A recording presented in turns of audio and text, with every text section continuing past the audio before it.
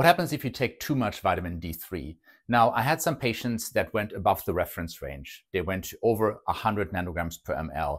And for the most part, I did not see any issues here. Though, of course, the risk theoretically is hypercalcemia. And that can actually manifest as bone pain, nausea, vomiting, you know, feeling lousy. Kidney stones uh, are more likely here and all that. Um, but again, this is something in quite extreme cases. And what I've seen actually for most people going slightly above the reference range was not an issue. Now, that being said, are there any benefits of taking so much vitamin D3 that you do go above the reference range? And I don't really see that. So when you look at the literature, I don't think there's a lot of advantages to do so. Keep in mind that the reference range is actually a sample of the population of people that are considered to be healthy, normal individuals. Now, when we have a chronic deficiency of vitamin D3 in the population, we can also argue that reference range might not be correct.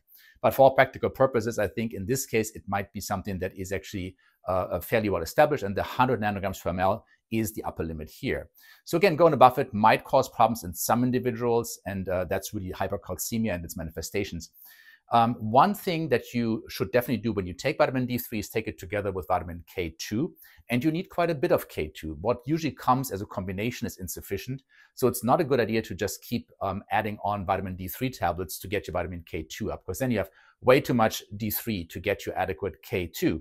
So it's better to separate them out. So you have your vitamin D3 and then you take a K2 separately. Now, this is not advice for anyone.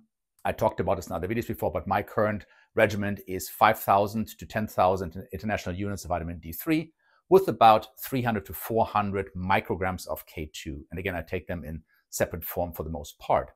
And this works actually quite well. Then, of course, uh, zinc and also magnesium. I take magnesium glycinate. Zinc, you don't need a lot, about 25 milligrams or so.